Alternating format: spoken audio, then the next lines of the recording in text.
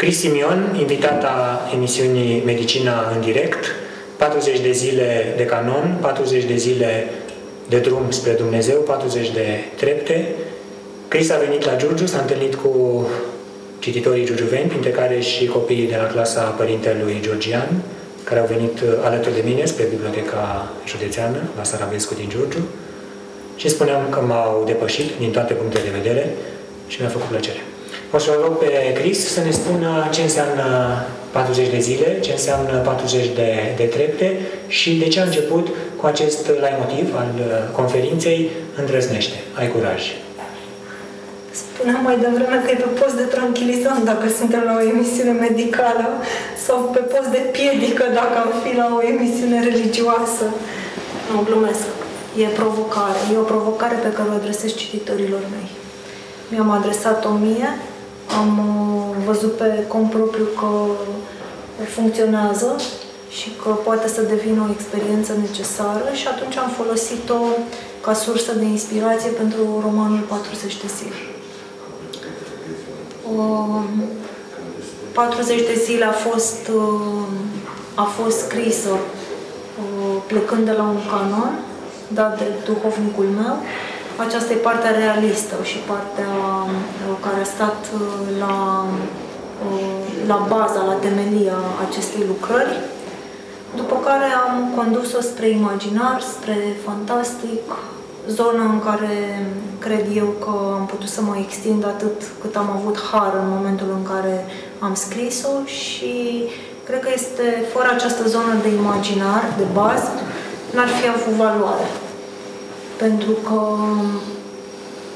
cred eu că așa reușesc să uh, atrag în, în jocul celor 40 de zile cât mai mulți cititori fiind convinsă că povestea personajelor Smeul Albastru și Floarea Soarelui este povestea tuturor la un moment dat.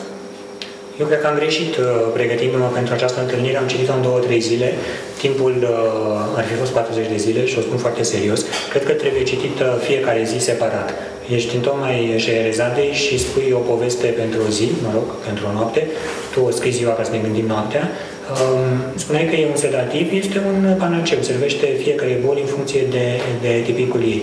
Important e, asta e un medicament cu adevărat bun, cum e mierea, cum e propolisul, care sunt, prin natura lor, um, leacuri universale, cam așa e cartea. Cartea poate să tămăduiască și omul depresiv, și omul isteric, și omul uh, bolnav trupește uh, și evită sinuciderea, cum spunea Cioran. E o afirmație. Deci eu n-am, n-am cum să... Da, da, da, da. Tu decât continui ceea ce spun eu, sunt puncte de, de suspensie și gânduri și reflexii până la um, Spuneam în, în lansare că la un moment dat mi s-a pus o întrebare la una dintre lansări cum aș defini acest roman baz printr-un singur cuvânt. Și am spus că l-aș defini prin cuvântul ușă, dacă ar trebui să folosesc o metaforă, un substantiv, și mi se pare definiția cea mai simplă și cea mai corectă, pentru că dacă ceva mă, mă, mă dezamăgește și mă intrigă la atitudinea unei persoane în această lume, este atitudinea de constrângere. Cred eu că omul există în libertate și atunci cartea pe care o, o propun nu poate să existe ca un, ca un magister Dixit. Poate să-ți deschidă sufletul și să te determine, să te duci pe drumul personajelor, dacă ai nevoie de asta. Poate că nu ai nevoie încă să trăiești în curățenie, în adevăr, în frumos, în bine. Dar citind această carte, cred cel puțin că afli că se poate trăi și așa. Ce era frumos în Magister Dixit al lui Pitagora era că ucenicii lui, discipolii lui și discipolele lui, nu? școala femeilor pitagoreice, spuneau asta chiar dacă maestrul nu spune asta. Deci, ca și cum asta ar fi spus maestru dacă ar mai fi trăit. Cam asta faci tu, tu ne lași un semn, o urmă, o dără de, de lumină, dacă vrei, în care noi continuăm uh, drumul pe care mergi tu. Da, exact. Și până la urmă este... Spuneam să arăt la cameră că există în roman 40 de pagini uh, goale, lăsate special pentru cititori.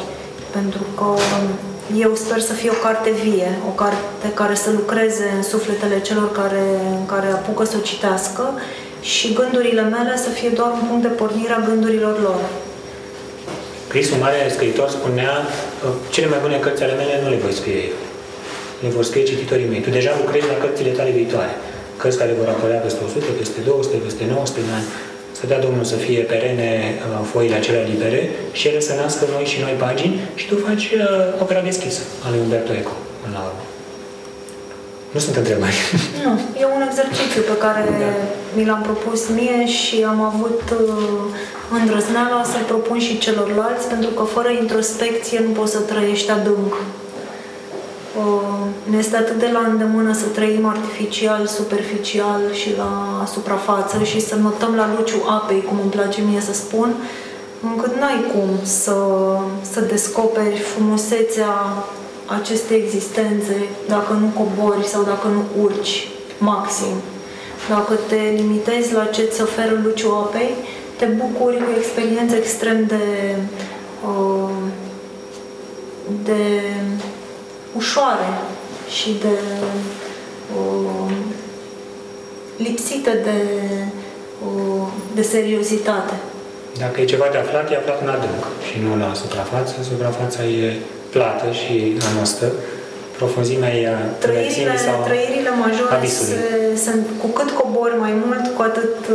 cu atât întâlnești trăiri majore și descoperi uh, că limita nu e o limită și abia atunci începi să înțelegi de ce nu, nu te mai poți întoarce la o trăire artificială. Iubiția adâncurilor și a înălțimii deopotrivă și tu spui că extazul e, dragostea e superior extazului drogurilor și extazului tuturor uh, psihotropelor și tuturor... Uh, da, în momentul în care ajungi dependent da. de, de iubire, în momentul în care găsești în iubire starea ta de a fi și consider că uh, e împlinirea ta existențială, în momentul respectiv nu, nu prea mai îți găsești sensul trăind altfel. Păi foarte frumos că durerea te scoate din starea asta de apatie, de calm, de linie izoelectrică a vieții, ne face să fim conștienți. Și suferințele ne sunt date ca o plată a păcatelor care nu ne pot fi iertate, a unor păcate capitale. Aici ne adresăm unor oameni care uh, au oarecare cultură sau oarecare trăire în sens uh, uh, religios. Dacă ne-am adresat tuturor, n-am putea să uh, vorbim din punctul ăsta de vedere. Dar cred că nicio, niciun moment de suferință care ne este dat nu, este, nu apare în existența noastră oricum, ci este efectul un, unei experiențe nefirești. Și când zic nefiresc, zic împotriva sufletului. Trăim neatent foarte mult timp din viața noastră, până ajungem la vârsta maturității și vârsta maturității o numesc vârsta discernământului și a înțelepciunii, a momentului în care îți dai seama că o, de, de la acest punct încolo n-ai cum să, să mai trăiești o, la suprafață. Și în momentul respectiv, evident că tot, toată atenția ți este direcționată, ți este concentrată spre trăiri um, spui că doar, autentice. Spui că doar omul poartă măști. E un reproș, tu ești regizoare, um, știu eu de la Comedia de arte în continuu, până acum s-a renunțat la măști, dar omul are mereu, nu, în piesele acelea fabuloase, o altă mască sub o mască. E bine că avem măști, măștile nu ne și protejează sufletul care e o carcasă vulnerabilă până la urmă. E singura celulă care nu are membrană, spunea cândva un mare filozof. Nu știu dacă bine în raport cu ce. Nu știu dacă e bine sau rău. Dacă, dacă ne folosim... Mediul ăsta exterior, dacă e bine să avem măști și să fim puțin altfel decât suntem în interiorul nostru cel mai profund, sau trebuie să ne exteriorizăm și să fim vulnerabili într-o oarecare măsură. Dacă un om folosește măști, înseamnă că are nevoie de ele și îi sunt necesare. dacă nu i-ar fi așa, nu l-ar folosi. Uh, excluzând jocul și ludicul din toată, din toată gestica asta uh, emoțională. Uh, masca are evident scopul ei, și social, și cultural, și spiritual. Depinde care este uh, pragul în care uh, îți permiți să o folosești. Dar masca presupune o sciziune, o ruptură între ceea ce ești și ceea ce vrei să pari că ești. Înțeles. În momentul în care îți asumi masca, îți asumi un chip al altuia. Avem uh, trei personaje în carte. O să-l rog pe operatorul nostru, pe domnul Minel Boboc, să le exemplifice prin uh, tabloul din spate. Și um, avem floarea soarelui, care este simbolul fertilității. Spuneam, uh, așa cum sunt multe um, roduri în ziua de azi, cum este rodia, spuneam, cum este pepenele, cum e porumbul, care sunt aduse în biserică pentru a fi binecuvântate. Avem uh, această undiță care servește la, la prinți, este, dacă vrei, năvodul și plasa de pescuit a apostolilor și avem întâlnirea cu Dumnezeu, care este cerul, cerul albastru, pe care ne duce un zmeu, un dragon pozitiv, un fluture, spuneam eu, ieșit din uh, chilia lui, din cristalidă ca în Orfeu și Euridice, spuneam ca în Psihe și Eros, nu? Privind uh, iubirea și privind uh, călăuza, uh, drumul dispare și regresăm la poziția primară. E o pedeapsă, e o binefacere, faptul că floarea soarelui nu a ajuns în cer și că își construiește cactus și acum pe sufletul ei? O, floarea soarelui a avut nevoie să construiască o, o lume interioară de cactus ca să poată să o depășească. Sunt două variante de existență. Varianta virgină, varianta nudă a sufletului în care nu ai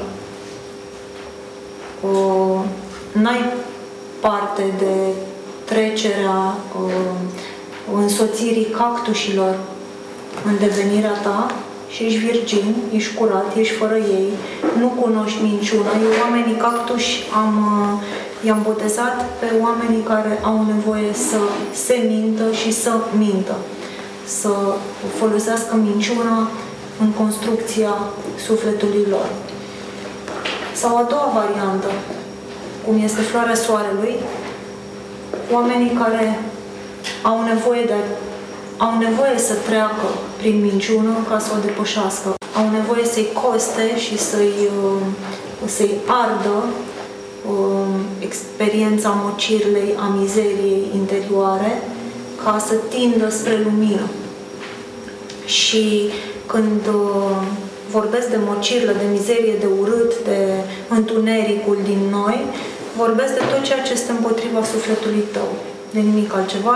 Așa îmi define și păcatul, trăirea care este împotriva sufletului. Pe lângă regie, tu ai studiat și teatrologia. Îmi permis să facem uh, o plonjare în teatrologie și să spunem uh, că Eschil scria uh, despre zei și introduce un personaj, Euripide mai introduce un personaj și scrie despre oameni așa cum ar trebui să fie și Sofocle despre oameni așa cum sunt.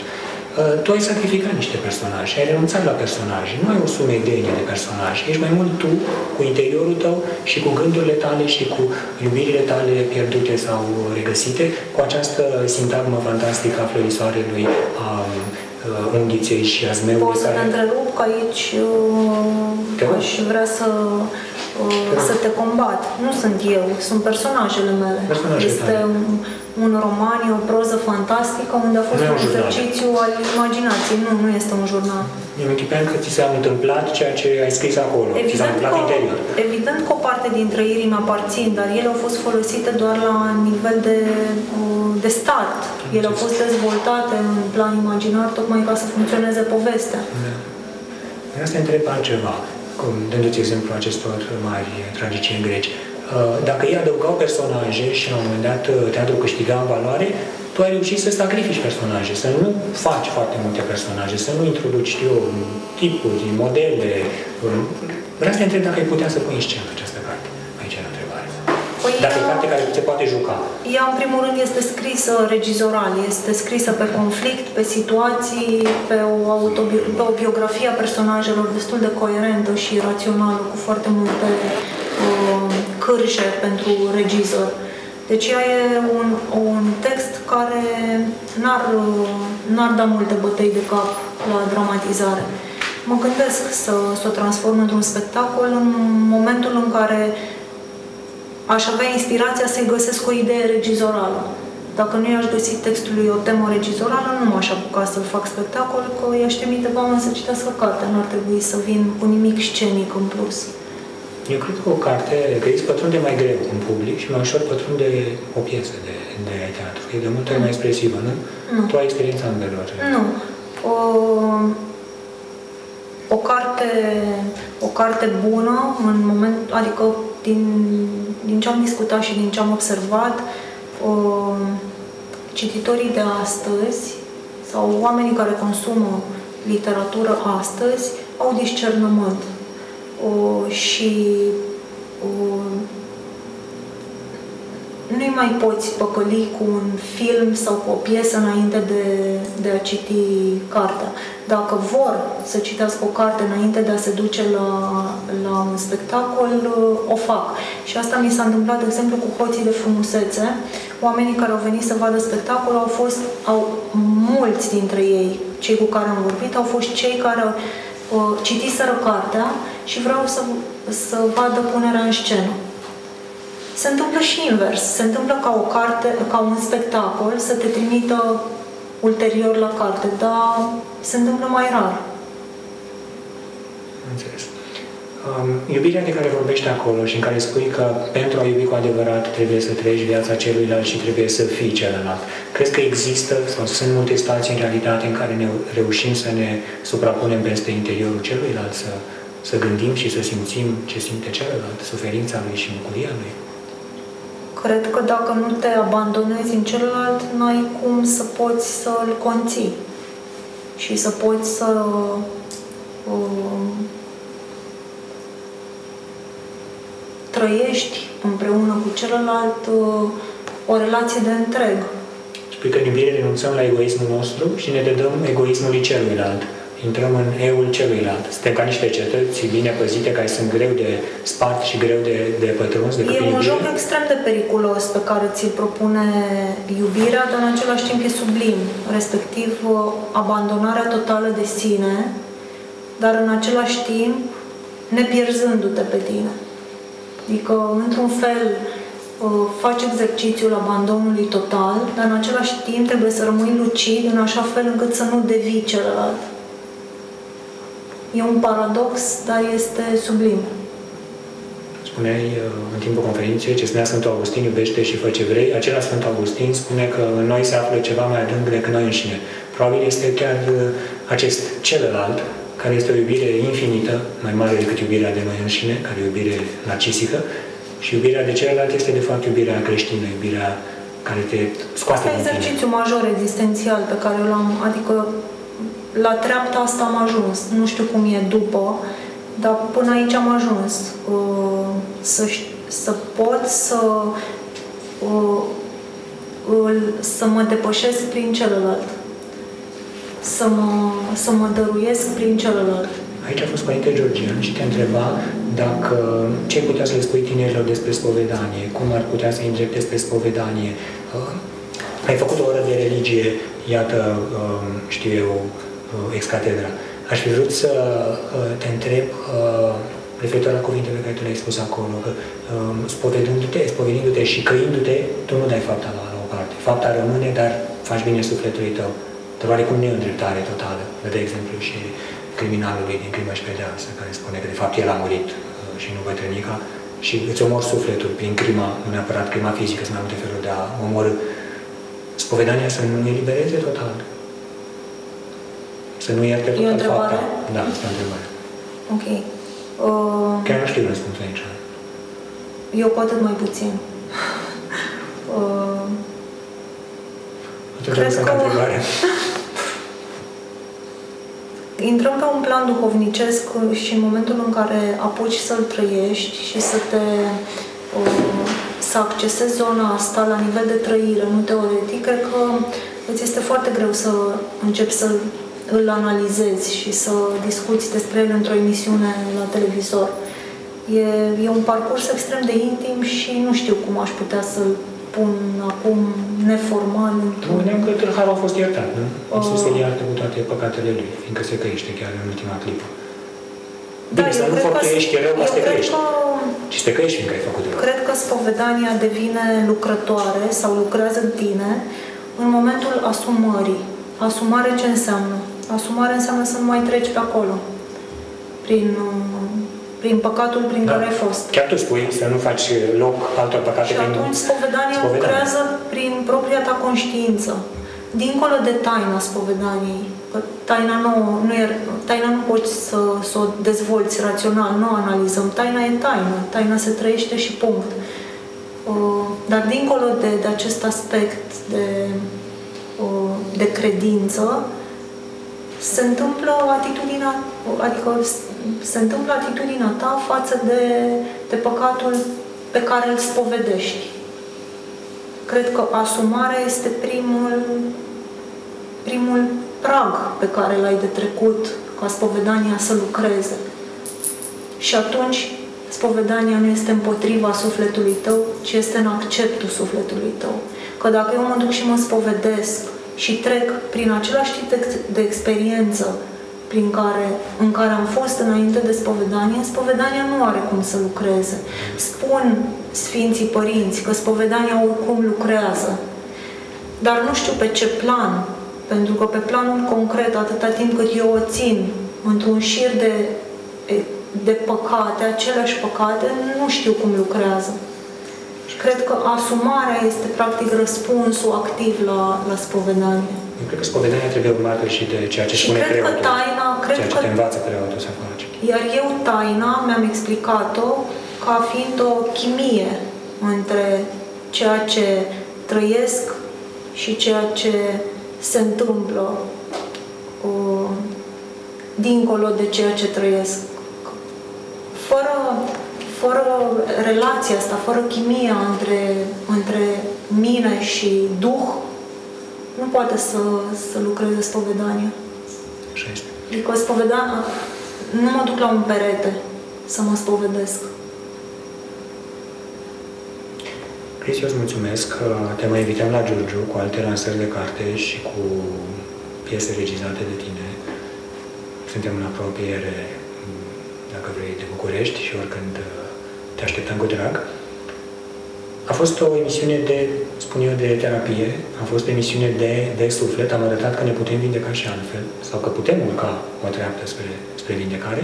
Bine, dacă ar fi să vorbim strict pentru oameni care uh, au acces la viața duhovnicească și sunt interesați de zona asta, atunci, uh, într-o frază, Te rog. uh, răspund la întrebarea pe care mi-ai pus-o legat de boală și de Te rog.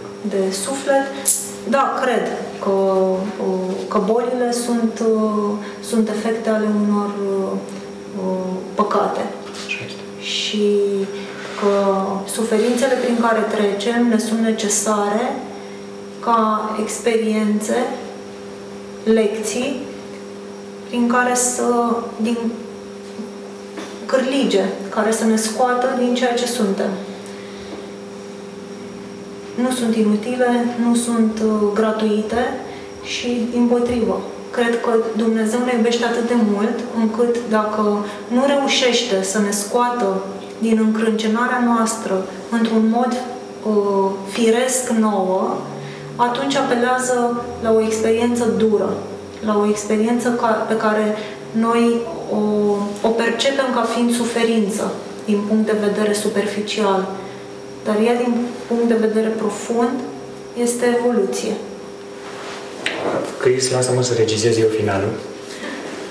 Dragi telespectatori, alături de noi a fost uh, Cris uh, Simion, care ne învață că uneori cuvintele trebuie să tacă și să devină taine și să asculte tăcerea și să știm că viața noastră nu merită să fie trăită dacă este între limite, viața nu are sens decât dacă este infinită și viața noastră suntem noi înșine, iar Dumnezeu este atât de bun cât îi cere.